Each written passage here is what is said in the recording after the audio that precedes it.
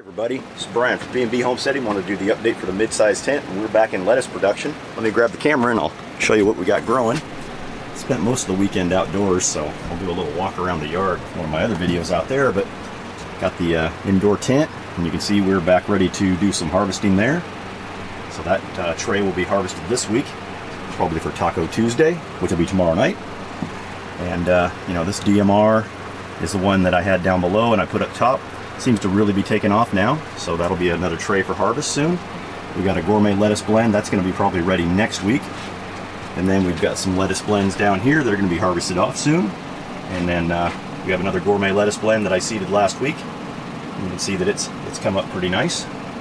So we've got quite a bit uh, you know the gourmet lettuce blend on top was just done a few days ago so it's germinating. And then we've got our uh, scraggler basil down there as I'll show in my one of my videos for outside, I've got uh, a couple of trays of basil that I've seeded and I stuck outside just to see what the germination rate will be. Just to do some more testing and uh, you know video for you guys to consume. But that's kind of the uh, the mid-sized tent today. I mean you can see the, uh, the lettuce is going and it's ready to be harvested in this tray. So we'll be taking this whole tray down and uh, just keep going with the mid-sized tent for salad.